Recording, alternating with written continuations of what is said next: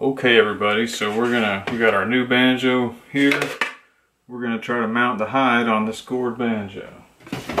So, just throw the neck to the side. I've got a goat hide here that's been soaked for a few minutes and sort of patted dry with a, with a cloth.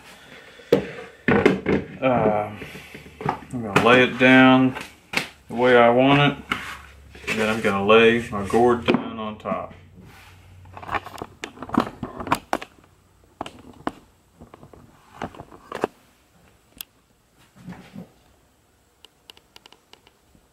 Okay. Now I've got nice fat needle on some cheap dental floss. And I'm going to see if I can see if I can mount start stitching this thing together.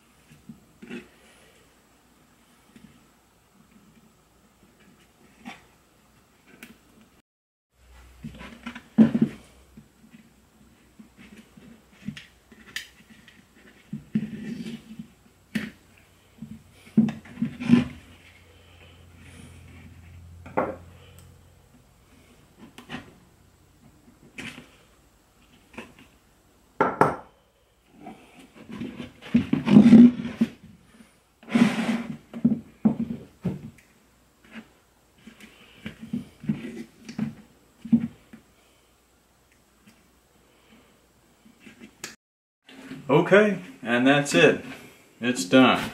I needed to use a pair of pliers, a pretty fat needle which got bent up, and a lot of dental floss. But use the dental floss because it's cheap and it won't break. The, the animal hide will, will, will tear before the dental floss tears.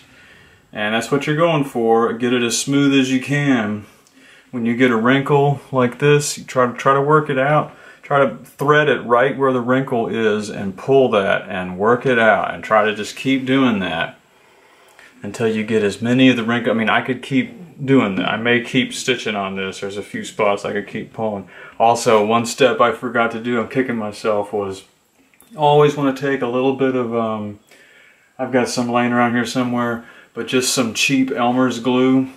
Just cheap, like school kids glue, Elmer's glue, and rub that on the rim that and that's the first thing you do before you lay it down and start stitching. That will help with these wrinkles. These it'll, it'll encourage it to hug the gourd more, so it'll make it lay down better. I forgot to do that, so whatever.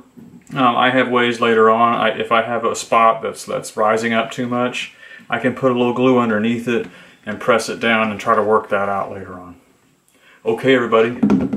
Thanks for looking.